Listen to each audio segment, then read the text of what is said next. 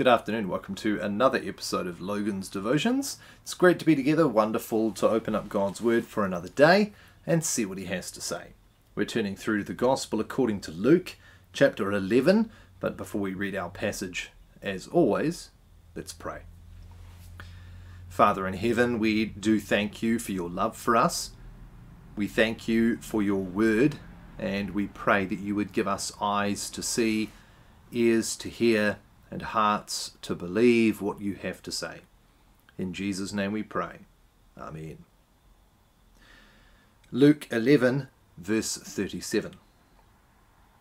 While Jesus was speaking, a Pharisee asked him to dine with him. So he went in and reclined at table. The Pharisee was astonished to see that he did not first wash before dinner. And the Lord said to him, now you Pharisees cleanse the outside of the cup and of the dish, but inside you are full of greed and wickedness. You fools! Did not he who made the outside make the inside also? But give as alms those things that are within. And behold, everything is clean for you. But woe to you, Pharisees, for you tithe mint and rue, and every herb, and neglect justice and the love of God. These you ought to have done without neglecting the others. Woe to you, Pharisees, for you love the best seat in the synagogues and greetings in the marketplaces. Woe to you, for you are like unmarked graves, and people walk over them without knowing it. One of the lawyers answered him, Teacher, in saying these things you insult us also. And he said, Woe to you, lawyers also! For you load people with burdens hard to bear, and you yourselves do not touch the burdens with one of your fingers. Woe to you, for you build the tomb of the prophets whom your fathers killed. So you are witnesses, and you consent to the deeds of your fathers, for they killed them, and you build their tombs. Therefore, also the wisdom of God said, I will send them prophets and apostles some of whom they will kill and persecute, so that the blood of all the prophets shed from the foundation of the world may be charged against this generation, from the blood of Abel to the blood of Zechariah, who perished between the altar and the sanctuary. Yes, I tell you, it will be required of this generation. Woe to you, lawyers, for you have taken away the key of knowledge. You did not enter yourselves and you hindered those who were entering. And he went away from there. The scribes and the Pharisees began to press him hard and to provoke him to speak about many things, lying in wait for him to catch him in something he might say. You know, Jesus is probably one of the worst house guests. Have you ever noticed that in the Gospels? You know, often we find Jesus being invited to someone's house for dinner, and everyone ends up upset with him. Even if he's not the main guest, he comes to a dinner table, and everyone ends up upset over something. You know, before we come to the meaning of the words, which will be kind of cursory, one of the things that's really striking about this passage is how much it flies in the face of much of what Christendom thinks. You will often hear Christians saying things like, Jesus is tender, Jesus is loving, Jesus is always kind. And so Christians must be too. Christians must not be offensive. Christians, in their witness, must always be soft and gentle. I can remember during uh, COVID at one point having someone say to me that whenever Christians act, they ought never to make an offense to anyone whatsoever. That's our witness to the world, is not being offensive. I can remember watching a, a documentary put together by some professors who claimed to be Christians of whom at least one of them was a homosexual. And I, I won't name them, but one of the things that they said in the very conclusion, one of the most esteemed professors in this documentary at the end said was at the end of the day, what we are asking is for the church to begin to treat people the way Jesus would.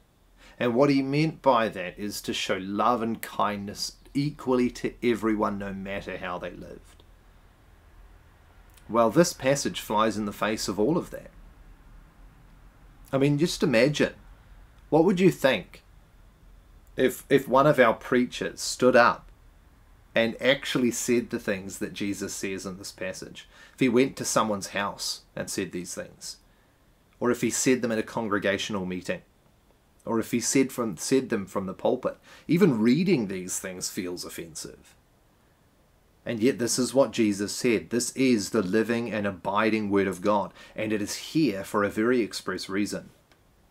So, this, verse 37 to 54, is effectively the express illustration of the reality of everything we've been talking about from verse 14 through to 36 about the need to trust, hear, believe the word of Christ. And immediately we're confronted with the Pharisees and the lawyers who refuse to do that. And so Jesus goes to their house for dinner. And they accuse him over something unbelievably pathetic, which isn't even in the Word of God. They were disgusted with him. They were astonished. They marveled at him because he didn't wash before dinner. He wasn't breaking the law. He was breaking their rules, but he wasn't breaking the law of God. And Jesus' response highlights something for us. It highlights for us that the Pharisees and the lawyers were missing the word of God which was being proclaimed in their midst because they were infatuated with their own thoughts. They were blind, deaf, pitiable, and wretched. And so Jesus says, You Pharisees cleanse the outside of the cup, but the inside is filthy. So you're focusing on the outside, but there's something wrong on the inside. You need your heart to be cleansed. And then he goes into these woes. And just very quickly says, Woe to the Pharisees. Why? Because they focus upon the minute things and neglect the great things. Do both. He says, Woe to you, Pharisees! Why? Because you love the praise of men. Woe to you, Pharisees, because you're basically dead people. Even though you're alive and walking around, no one cares about you. No one really cares about you because you are unmarked graves. Now, if that was all we had, that would be bad enough and that would ruin a dinner party, right? I mean, no one's ever said that at a dinner party at my place, but it would be pretty awkward if someone did. But one of the lawyers stands up, and you can just imagine the picture, right? Oh, man. I mean, yeah, those Pharisees are pretty bad, Jesus, but it kind of sounds like, you know, you're not just speaking about that. It, you know, it sounds a little bit like you're speaking about us too, Jesus. So, can you just clarify for everybody that us lawyers are good, but, you know, the Pharisees are bad? And Jesus says, Woe to you, lawyers! You put burdens upon people and don't take them off. In other words, they tell them what they have to do, they tell them what the law requires, but they don't show them the way to have their burden removed by pointing them to Christ. He says to them, Your fathers killed all the prophets, and you celebrate them. Therefore, you're just as guilty as they are. And then he says to them, You've been given the key of knowledge, the Word of God. But you don't actually use it to enter yourself. In fact, make it even worse, you lock the door so that other people can't come in. And what's the response? Well, you'd hope the response would be the Pharisees and the lawyers would hear the word of Christ, repent, return, and seek the lover of their souls, right? But no, they don't. Verse 53 As he goes away, the Pharisees and scribes begin to press him hard, to provoke him, to speak about many things, lying in wait to catch him. It's the illustration of the exact thing Luke's been talking about and Jesus has been saying, right?